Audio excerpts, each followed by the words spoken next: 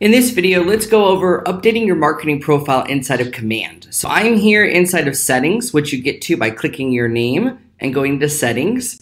And then under connect settings, you'll find your marketing profile. This marketing profile is what provides the marketing on all of our system uh, resources from your websites to your consumer app that's coming out emails, everything that comes out is going to use this data. Designs all comes from here. So we're going to come to marketing profile and come in here. By the way, if you're using your website, you have to make sure that this is on. It should be green. So if your website is not branded to you for any reason and reverts back to a generic KW, this is why you have to flip the switch on. For compliance reasons, we want to make sure that every agent set up their marketing profile with their legal requirements, and that is why the switch is here.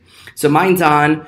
Then you're going to upload your photo. So I've already got my photo here. Now notice it is a circle effect on it. So my advice would be truly to upload a square photo. However, there is the ability to crop your photo and make sure that it's center inside the tool if you upload your image there. Then you've got your option for team logo. Now, even if you're not a team, this could also be called a brand logo. So if you're branding yourself as an agent, you might have a great logo about you, your initials, or something cool that you want to put. I had an agent who wanted his picture on everything as the team logo. So you could technically put that here. However, sometimes the team logo is going to be next to your picture and then it would be a duplicate picture. So here we have a team logo. Now it does say recommended size 360 by 360. Now the recommendations here, however, you now can actually upload an image that's not 360 by 360. So I know it's hard to see here with my image. However, this is my team logo in kind of a three to one ratio um, that is uploaded here and on the new consumer site, it looks great. So that's one thing you can do is actually not just use a square version of your logo. You could have more of a uh, rectangle version of your logo there now. So then you're going to update your details. Hopefully everyone knows their name. Um, if you have your license number, you can enter that here team name. This also has in, a, in the website version of the marketing profile tool where it's also your brand. So it could be your name, Realtor with Keller Williams Realty. It could be your team name. So I chose my team name with Keller Williams Realty Professionals to show up on everything.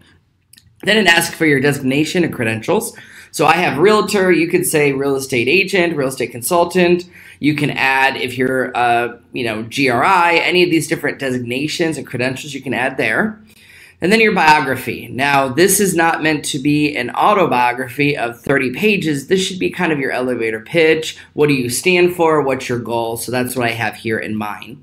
Then you're going to add your mobile phone number, and it does ask for office number. Now, in certain states like Florida, it's not required to have our office number. So technically in Florida, I could put my cell because KW isn't a typical real estate office. We tend to have the agent's cell phone be their main number. So that could go there. You can enter a fax number if you want. And then you've got your email address and your website. When you add your website, by the way, please note you have to have this HTTP in here or it might give you an error message. So I've already got that entered in here and I just went to my website, by the way, and copied and pasted the link here. Then you get to your marketing uh, center logo. So I've already got the office logo. Now it looks weird here because remember, this was intended for me to have a square version of it. I actually just uploaded the direct file. Um, the one you want, by the way, is a PNG. So check out our other video on how to download the Office logos from KW Connect and look for the PNG file, which will have a clear background. So that's what I have here, and that shows up on the website perfectly in a larger size than this square because the square version of our logo really makes it tiny. Then you're going to have your brokerage name. Now, this was decided by KW. Every time I change this and I go into another part of the system, it kind of reverts back to the market center's name with Keller Williams. It does actually require now that you have market center brokerage number because some states required that. And like I said, in other states, if it's not required, you can change that to whatever number you would want somebody to contact to get a hold of the market center or the office. Then you add your address. And then if you have your market center or brokerage license number, you can put that here. So I added my broker's number here for my market center. Now, legal footer, and this is now blank. I used to teach you to go to kw.com and copy that. However, our new websites already have that at the bottom of the website. So I don't have to have that duplicated. This is intended if you have a special legal footer. And if you are in a state that requires extra legal footers and extra links, don't worry. If you do the agent sites marketing profile, they have an expanded version of this where you can add more links to that. So mine is blank because it's already on the KW website. Then you can add your social media links. So I added my Facebook. I don't use Twitter anymore. Instagram's more personal for me. YouTube, I haven't used on the consumer side in a while. I got to update that, and you can put your LinkedIn if you want there. If you have your Facebook pixel, you can add it here. However, I find sometimes it disappears. So we're still working on that. And then if you have a Google Analytics ID, they can go there as well.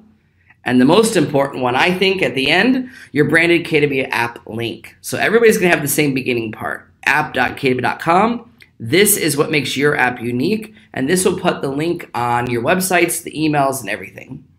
So that's the marketing profile. Fill it all out. You can keep coming back and make changes if you need to.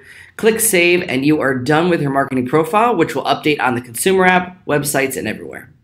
Thanks so much for watching this video. If you enjoyed it, give it a like. Leave us a comment below. I'd love to hear from you. And as always, you can follow me on YouTube or KW Connect today.